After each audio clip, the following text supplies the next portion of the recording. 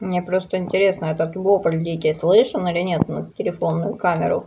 Может, а вопль испугал кота, заинтересовал кота, и кот даже отвлекся от птичек.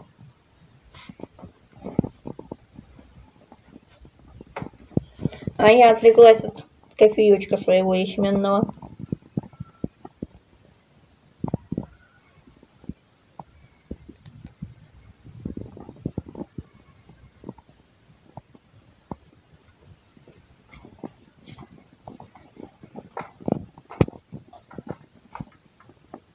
Давно я не снимала на телефон.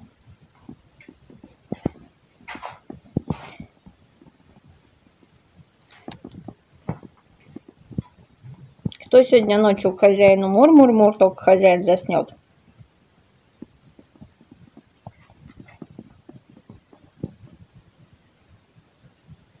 Сейчас кое-что покажу.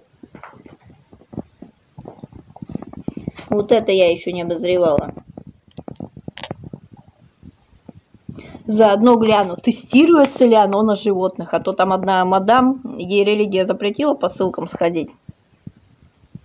Я еще не знаю, как этот значок выглядит, но мне кажется, натуральная косметика на животных вряд ли может тестироваться. Хотя животные, э, люди в смысле тоже животные. Хотя, когда я называю некоторых людей животными, они почему-то обижаются. Может, они себя камнями считают. Насколько мне известно, давно уже не ставится значок на натуральной косметике, не тестироваться на животных. Хотя на Гринмаме я его видела.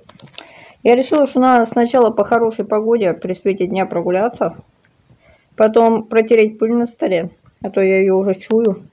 И только потом уже записывать этот самый. Кстати, они снова цветут. Вчера было много бутончиков.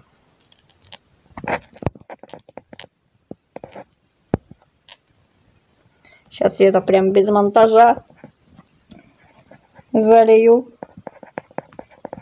У меня тут эти снежинки с Нового года остались. Надо было, наверное, сказать «Привет, зритель». Кстати, ребенок перестал орать.